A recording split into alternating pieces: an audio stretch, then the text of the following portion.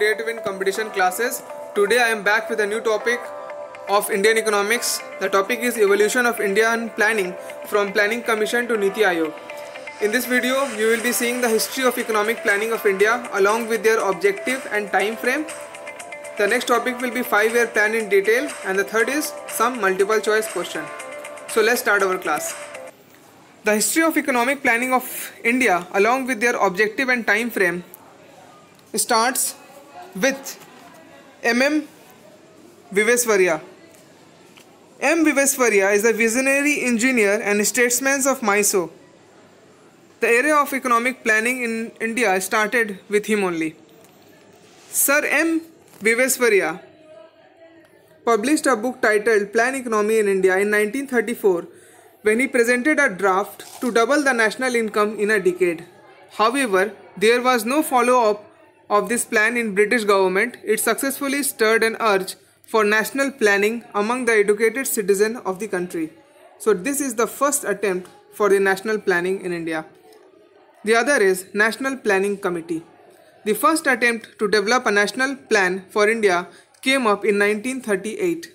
In that year, Congress President Subhash Chandra Bose has set up National Planning Committee with Jawaharlal Nehru as the president of this committee. However, because of the commencement of the World War II, the report of the committee could not be prepared. The papers finally came out after independence in 1948. So in this National Planning Committee, it is important to know that it was set up by Subhash Chandra Bose and as president it was Jawaharlal Nehru. Let us see our next plan. The next plan is Bombay Plan. In this Bombay Plan, eight industrialists of Bombay I have not mentioned here, let me tell you, J.R.D. Tata, G.D. Birla, Purushottam Das, Thakur Das, Lala Ram, Kasturbai, Lal Bai, A.D. Shroff, Ardeshir Dalal and John Mathai working together prepared this plan. The plan tells about a brief memorandum outlining a plan of economic development of India under the editorship of Purushottam Das Thakur Das in 1944. Keep principle of the Bombay Plan was that the economy could not grow without government intervention and regulation. Okay. The other plan is the Gandhian Plan.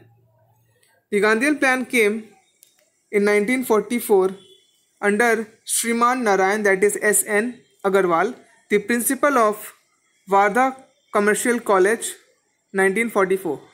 The plan articulated a decentralization economic structure for India with self-contained villages. It stressed upon promoting cottage and village level industries. Okay.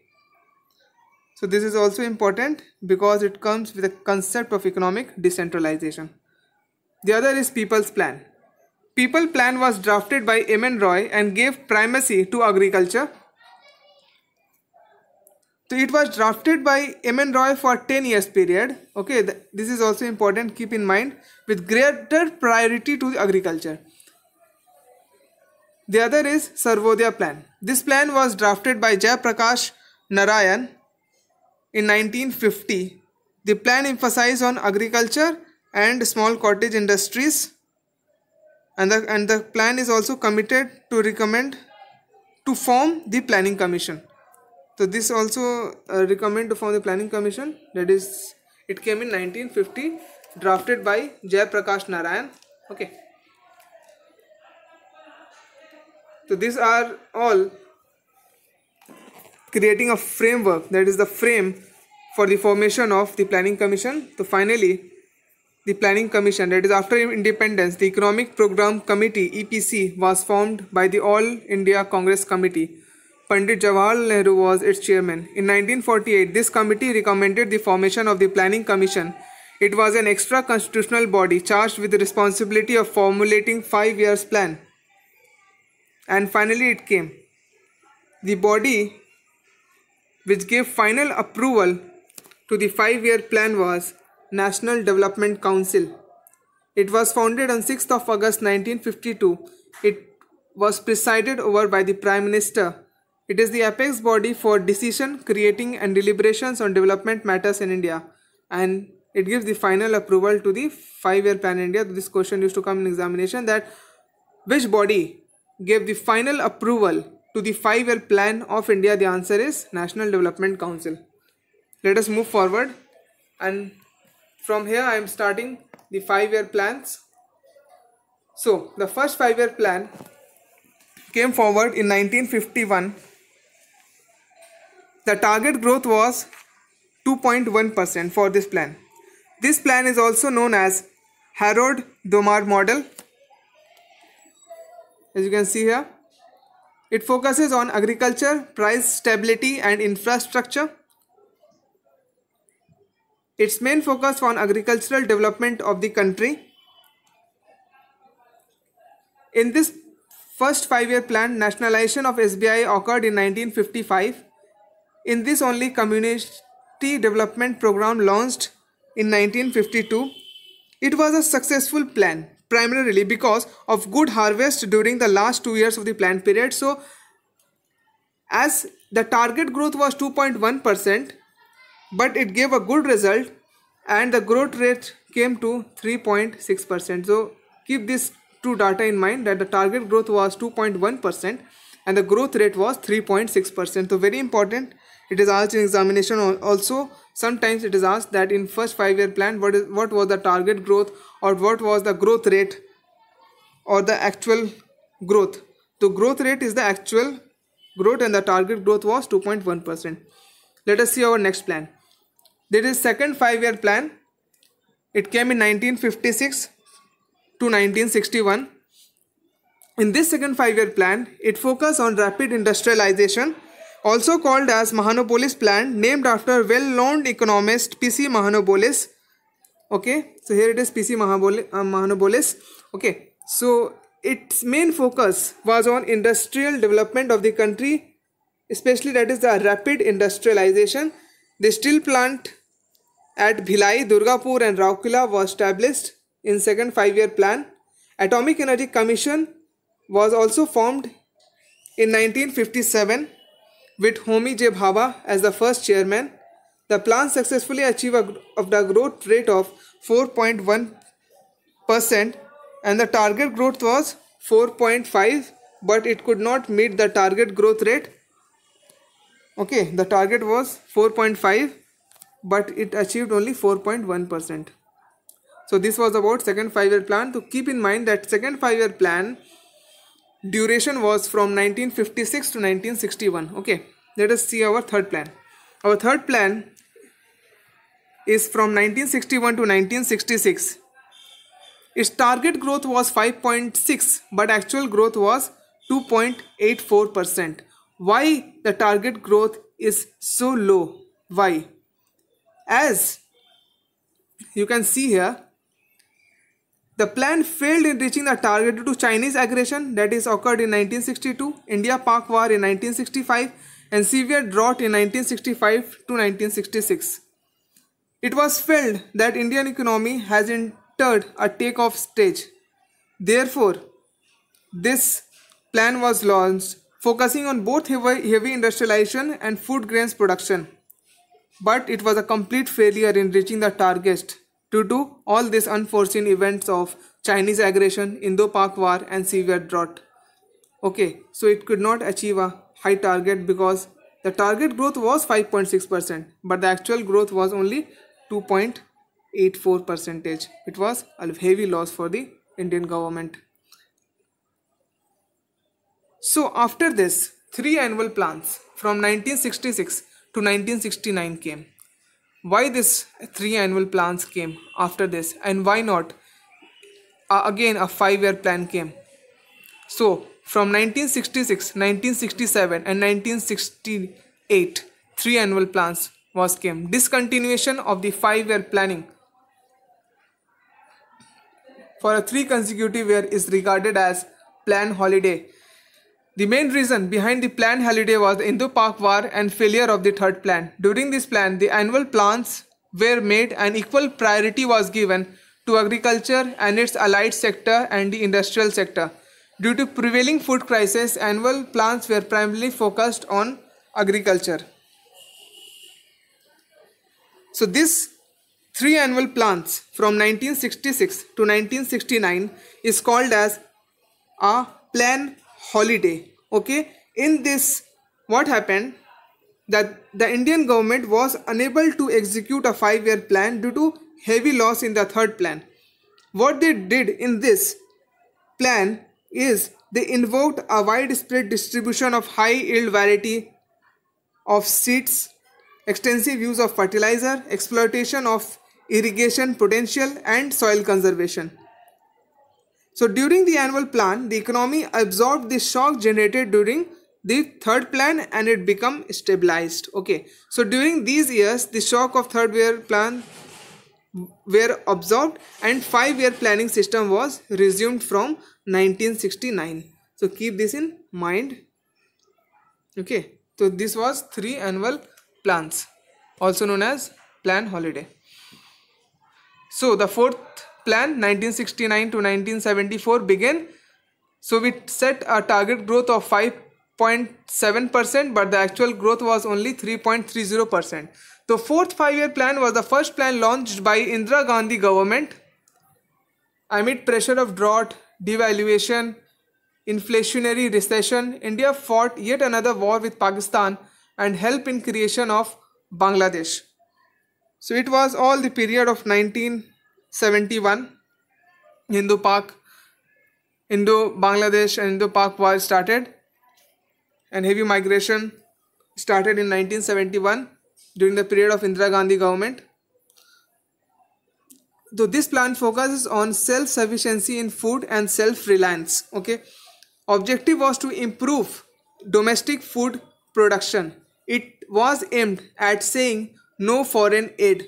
So the concept here from here we can see that the Indian government is trying for a closed economy.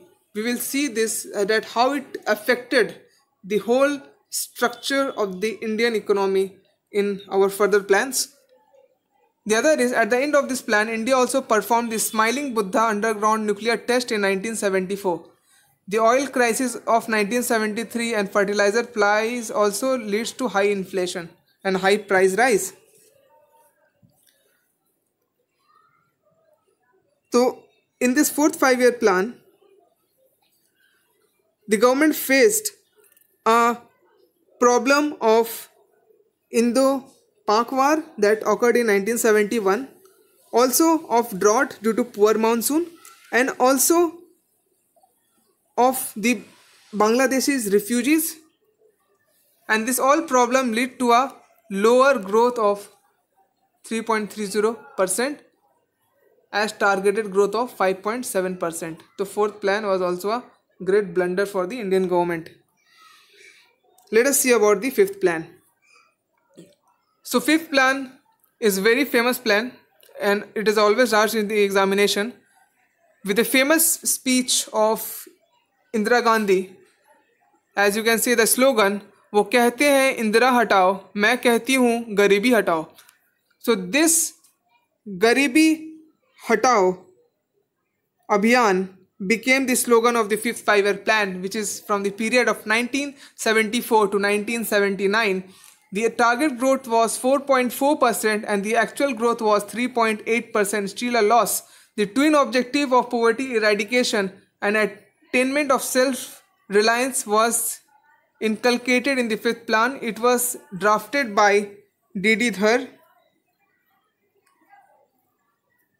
So it carries two objective. That is first is poverty eradication and the other is attainment of self-reliance. But this plan terminated one year before, only that is in 1978 only due to the Janata Party and uh, the then Morarji Desai rejected the plan.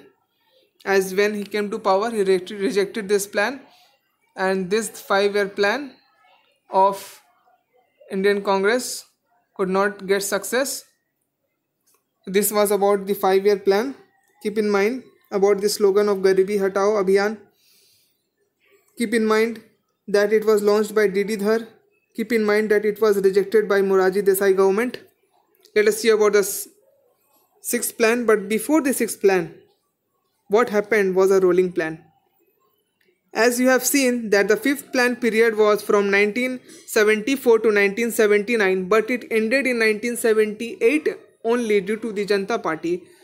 So the period from 1978 to 1980 came as rolling plan. Let us see what is rolling plan and how it came. The Janata government terminated the fifth five-year plan in 1977-78 and launched its own sixth five-year plan for a period of 1978 to 83 and called it a rolling plan. Why it is a rolling plan? The meaning of rolling plan was that every year the performance of the plan will be assessed and a new plan will be made next year based upon this assessment. So they have kept three points in the rolling plan that if it is uh, going good we will increase the year if the plan needs some flexibility we will do as we have seen the five year plan. It is fixed means it is fixed for five years. But Morarji Desai government thought that let it be flexible that we can change it for one year. If it is not going for good for if it is going for one year then it can go for two year. But in their mind they don't have a fixed plan of five years. That is the meaning of rolling plan. Okay. But due to their political problems Morarji Desai was forced to resign. So he was out. The new elections were held and, new Indra, and Indira Gandhi came back to power with thumping success in January 1980. She resumed her own strategy and new sixth plan was started on April 1, 1980 and continued till March 31, 1985. So sixth plan was came into power with Indira Gandhi coming back to power. So let us see the sixth plan. So before seeing the sixth plan, see the period that is from 1980 to 1985. So Indira Gandhi government has came back with a new plan and new power. So the sixth plan target growth was 5.2%. The actual growth was 5.66% means it has done a remarkable job in this plan. It has done some work. Let us see what work they have done. In this, they have focused on poverty, poverty eradication and productivity enhancement it is stressed upon modernization of technology. Many things has been done. That is for the first time, the frontal attack was made on poverty by adopting ambitious poverty eradication program.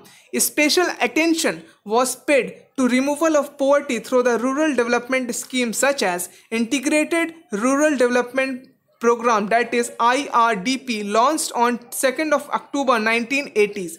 The other is National Rural Employment Program NREP launched in October 1980 and Rural Landless Employment Guarantee Program RLEGP launched. The, po the poverty was 47% in the beginning of the plan and was targeted at 30% was fixed to achieve. The actual target achieved was 37% means some poverty they have eradicated in that time from India. And in, in this plan also keep in mind that heavy industries and more on infrastructure also began in this. And population control through family planning was also uh, a plan in this sixth uh, plan. But uh, as you as you all know that india indira gandhi assassination took place on 1984 on 31st of october. But this plan was not terminated. It went on with a new prime minister coming into picture as rajiv gandhi in seventh plan? So let us go to seventh plan. The seventh plan 1985 to 1990 the new prime minister is rajiv gandhi. Target growth is 5% but the actual growth was 6.01% it means that the new prime minister rajiv gandhi has done remarkable work in this period. So let us see what was his works this plan was started by Rajiv Gandhi government when Dr. Manmohan Singh was deputy chairman of planning commission. The basic objective were speedy development, speedy development okay modernization okay self-reliance okay and social justice okay seventh plan also envisages the continuance and expansion of the national rural employment program that is nrep and Rural Landless Employment Guarantee Program RLEGP which was started in 6th year plan.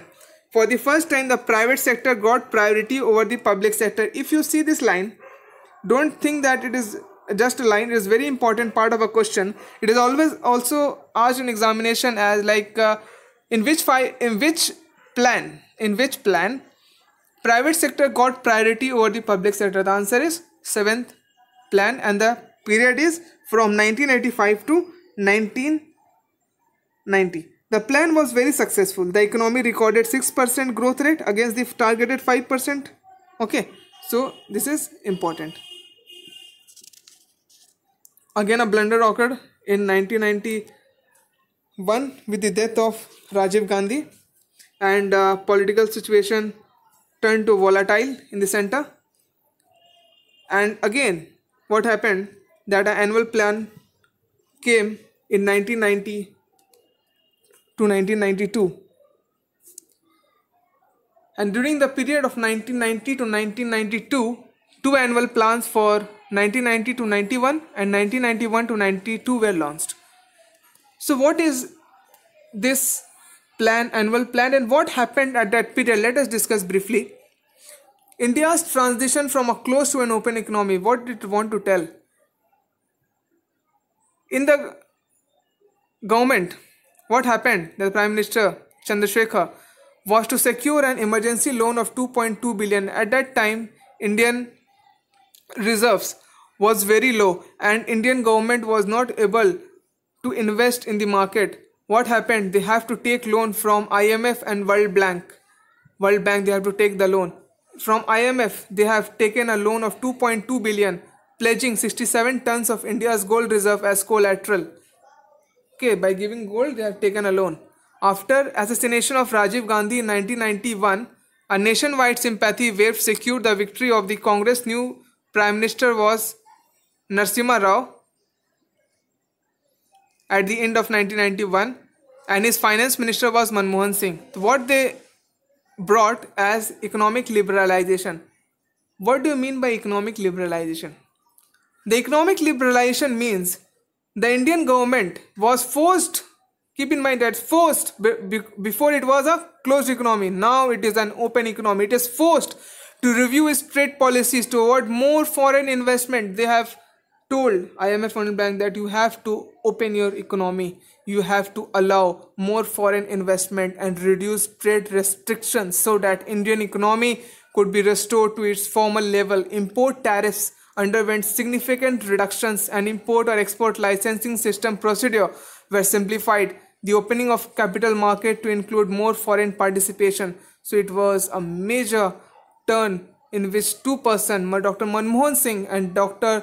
Narasimha Rao came as a reformer because they brought this policy of economic liberalization very important concept okay so this was annual plan from a period of 1992 1992 to let us go to our eighth plan okay eighth plan okay so eighth plan is 1992 to 1997 so in this eighth plan we have a target growth of 5.6 percent but we achieved actual growth of 6.8%. So how we achieved this?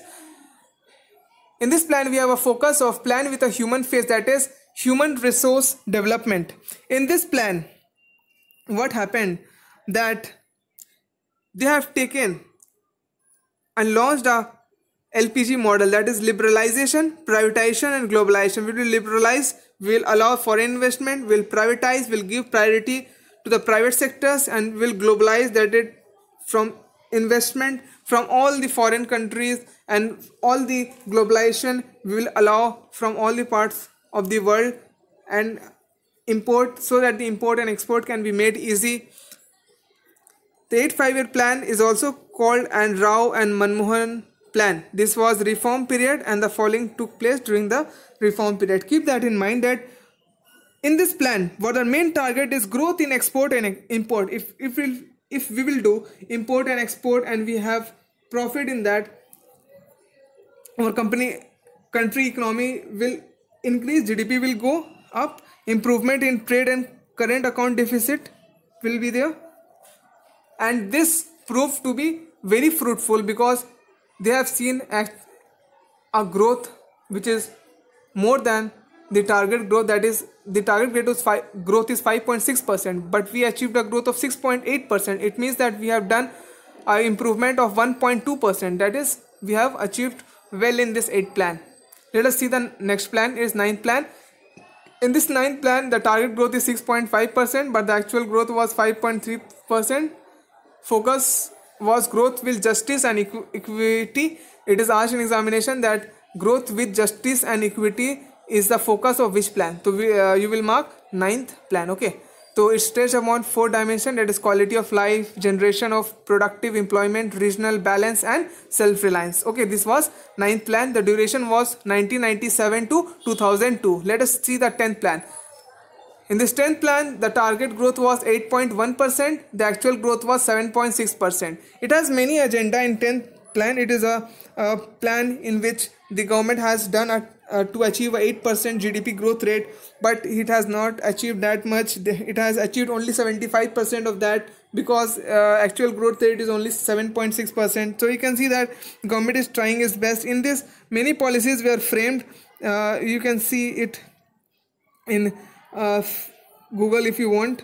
It is has a brief uh, summary. In that eh, I will I'm saying you some points. Keep in mind that in this plan reduction of poverty was taken an agenda by 2007 they had made a plan. In this they have taken the increase of literacy rate they have taken a reduction of infant mortality rate they have taken capital outflow should be reduced cleaning of major polluted rivers by 2007 that all the targets they have made for future plannings. All villages to have sustained access to potable drinking water by 2012 and providing gainful high quality employment to the addition of the labor force over the 10th plan period. So it has many agendas related to 10th plan which was uh, has a uh, duration from 2002 to 2007 let us move toward our next plan that is 11th plan. Our 11th plan target growth was 9% but actual growth rate was 8% the focus is faster growth and more inclusive growth. In this 11th plan they have planned to ensure that every village should be connected by telephone, increase in forest and tree cover, increase energy efficiency, provide clean drinking water by 2009, reduce total fertility rate to 2.1, accelerate GDP from 8% to 10%. So, so this is also a very important uh, five-year plan, 11th plan. Let us move toward 12th five-year plan. In 12th five-year plan, target growth was 9%, but actual growth was only 8%. Okay and uh, the target as we can see has been has been lowered. The target actually has been lowered here. That is only 9% target was kept and can be seen that here also the government has achieved a very low target that is 8% the 12th plan has set a target of 8% growth. Okay the focus here is faster, more inclusive growth and sustainable growth. So this is asked in examination that what is this focus of this plan? The faster, more inclusive growth and sustainable growth. Keep this in mind.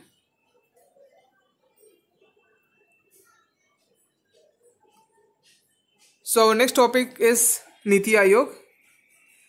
So let us discuss something about Niti Aayog. The Planning Commission, which has a legacy of 65 years, has been replaced by the Niti Aayog. So Niti Aayog came with the new government coming into the center. The Niti Aayog was formed on January 1, 2015 as the think tank of Indian government. The Niti stands for National Institution for Transforming India. Niti Aayog creation has two hubs called Team India Hub and Knowledge and Innovation Hub. In Team India Hub, it leads a participation of Indian states with the central government and the Knowledge and Innovation Hub, it builds institution think tank capabilities. So the chairman we have our Prime Minister Sri Narendra Modi, our CEO Sri Amitabh Kant and Vice Chairman as Sri Dr. Rajiv Kumar. So keep this data in mind it is asked in examination that who is the chairman of Niti Aayog who is the CEO of Niti Aayog who is the vice chairman of Niti Aayog what is the full form of Niti Aayog that is National Institution for Transforming India. When Niti Aayog was formed that is 1st of January 2015 so this was all about today's lecture. Let us move toward multiple choice question. Our first question is who gave the final approval to the five year plan in india. So as i have told you before only if you remember that the final approval was given by national development council. So national development council was formed in 6th of august 1952 it is presided by the prime minister and it is an apex body for decision on developmental matters. Okay so the answer will be a national development council. Let us see our next question our next question is when was the first five year plan started? The first five year plan started in 1951 and went up to 1956 okay? So keep this in mind that first five year plan was started in 1951 our next question is the very first five year plan of india was based on the model of it was based on the model of harrod domar model okay so let us see our next question. Which program was given the slogan of garibi hatao? So i have told you in the lectures that uh, garibi hatao abhiyan is the five fifth five year plan. In this indira gandhi has given the slogan that garibi hatao the plan period is from 1974 to 1979 but it uh, the plan could not complete up to 1979 due to Janta government. It ended one year before only in 1978. So keep this in mind for the fifth five-year plan. Let us see our next question. Jawahar Rojgar Yojana was launched in. So Jawahar Rojgar Yojana was launched in seventh five-year plan. Keep this in mind. Okay. And the plan period for seventh five-year plan was 1985 to 1990. Keep this in mind also. So the uh, plan period of 7 5 year plan was 1985 to 1990 okay? Keep that in mind. 85 okay? The three annual plans were launched between it is launched between 1966 to 1969 okay so what was the reason for these three annual plans the reason for the three annual plans was severe drought, Indo-Pak War and Chinese aggression. To keep this in mind, the answer will be 6B 1966 to 1969. Our next question is National Development Council consists of the National Development Council consists of first option member of the Planning Commission, member governors of the state, C is Chief Minister of the state and D is ANC. The answer will be A and C because National Development Council I have mentioned that National Development Council is composed of the members Prime Minister that is chairman of the National Development Council. National Development Council was formed in 6th of August 1952. It consists of Prime Minister, Chief Ministers of all state administrators of all union territories, all cabinet ministers, members of the Planning Commission. So the answer will be ANC that is the member of the Planning Commission and the chief ministers of the states and the governor of the state is wrong. Let us see our next question. Which of the following is the part of the governing council of Niti Aayog? All chief ministers of the states, chief ministers of Delhi and Pondicherry, lieutenant governor of Andaman and Nicobar Islands, all of the above. So what will be the answer? The answer will be all of the above because they all take part in the meeting of the governing council of Niti Aayog. Okay, let us see our next question. For the first time, private sector was given priority compared to the public sector. When I was explaining you the five-year plan, I have told you that this line is very important. What will be the answer? The answer will be seventh five-year plan. In that, private sector was given priority over the public sector. The time period of the seventh five-year plan is 1985 to 1990 keep this in mind okay? Let us see our next question. Faster and more inclusive growth was the objective of faster and more inclusive growth was the objective of 11th five year plan i have told you that is an every focus is important for the examination. So thank you very much for watching my videos Please like, share and subscribe my channel and never miss a video from Dare to Win competition classes.